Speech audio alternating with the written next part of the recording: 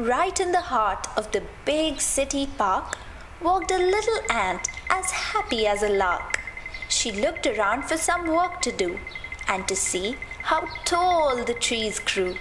She saw an earthworm digging tunnels in the soil. Can I help you dig? Can I help you with your toil? Eh, you're too small, little ant. Go play with a twig. I don't need your help. I need to dig, dig, dig. There must be something here for me to do. I might be small, but I'm very strong too. Buzz went a bee behind a big apple tree. The ant followed her in gleeful glee. Buzz off, little ant. I'm busy, can't you see? I'm making sweet honey. I'm a very busy bee. The ant walked around the park, feeling sad and blue. Everyone but she had something to do. The earthworm dug mud and was in a tizzy.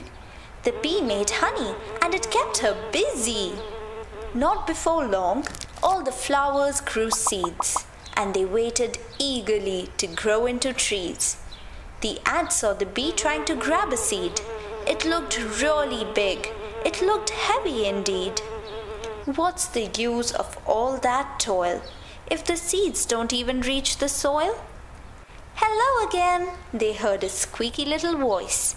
Oh, it's that pesky little ant. Oh, joy of joys.